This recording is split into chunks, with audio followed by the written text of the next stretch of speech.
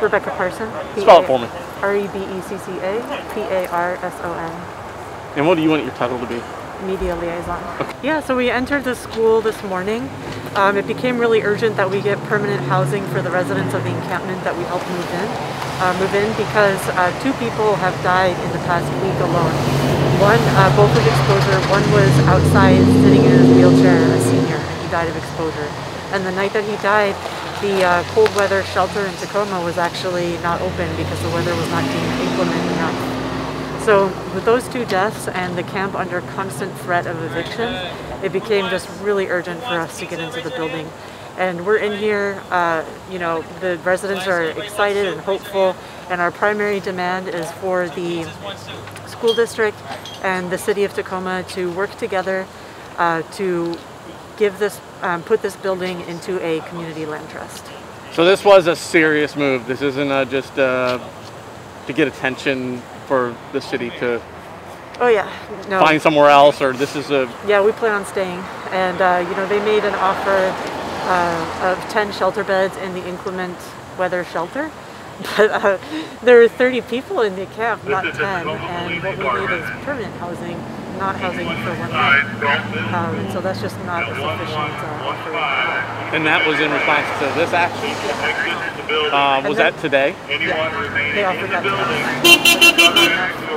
And so, what does it say that almost a century after the Great Depression, as we are on the precipice of probably another Great Depression, um, and in the middle of a pandemic to boot, um, you know, a century, almost a century later, here we are in the same position. It's just uh, really an indictment of our housing system, which exists solely to provide profit and not actually. And again, th- this is me just repeating what I was told in my emails and phone calls.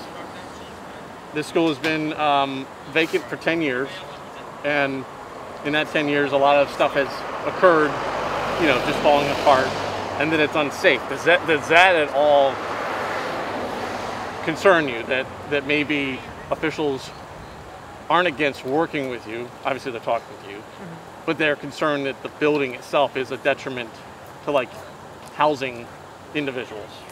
Well, yeah, you know, we told the residents what the city was saying, and uh, one resident's response was, I would rather risk asbestos in there than freeze out in the cold and freeze to death. So it's a cost benefit analysis, and uh, it's worth the risk to the residents. How, how many? Uh, so how many individuals are staying in there right now? About 10. Ten. Yeah. And do you know whose idea it was to either, I, I guess, I don't know, crack a lock or break a window? Uh, well, we it was a team Tacoma Housing Now. We did it together. So the homeless outreach team uh, reached out to them and we contacted uh, Tacoma Public Schools, obviously. And the building basically is not fit for human habitation. It is really unsafe. Parts of the uh, roof have collapsed, the structure is not sound. We've had thieves in there before who have stripped the wiring, so there's exposed wires, though the electricity is obviously shut off, um, water shut off. It's been determined that it is unsafe to be in there due to mold levels and possible asbestos levels. So even when T- Tacoma School District employees go in, they have to use special respirators and can only be in there for short amounts of time. So we're talking this building is not safe. So the homeless outreach team came by and started conversations and dialogue with the people inside. And basically, we're trying to find out who was in there, um, what their ages, sexes were, so they could provide them resources that would be available to them within the city. Um, a few people left and were able to talk to. However, um, it came to a point where they weren't coming out of the building.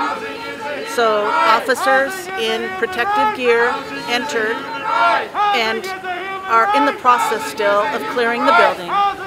When they make contact with people, they're giving these people a choice.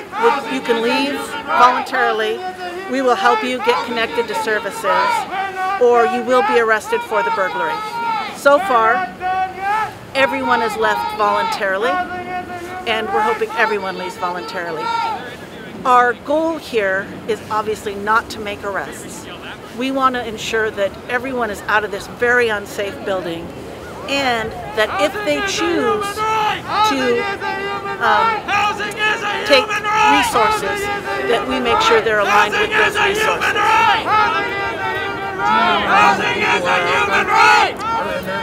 Um, no, I don't at this time. I will be able to give you an update after the officers finish clearing the building. Housing is a human right! Housing is a human right! Housing is a human right! Housing is a human right! No, there's been no arrest made. Constitution!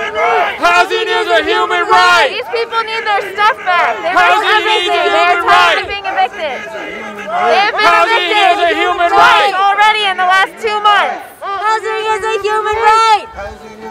Housing is a questions? human I'll let right. You go with them. Housing is a human right. Yeah, get the fuck out of here. Housing is a human right. just letting you know so you, you can make that decision. The police need to return their personal property. It is their legal right. They would rather watch them die outside. Two people have died outside in the last week. We are tired of it.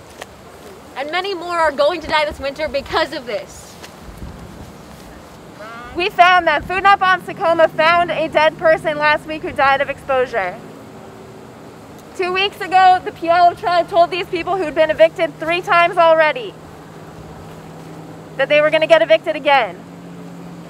So, I mean, these, this building sounds like it's just full of mold and asbestos. I mean, is there like, like a compromise that you think that we could, you know, that the city could do?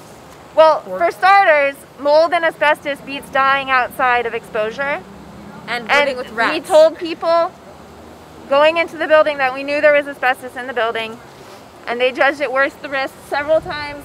Our colleagues over there had told us asbestos is a concern, and they said, I'm tired of watching rats run over my stuff and fight on it. If the city is so concerned about the health and safety of these people, why don't we have housing? Why don't we have a place for people to go? And not tiny housing either. I'm not going to live in, a, in an area the size of my kitchen. They need actual, real, permanent housing without restrictions.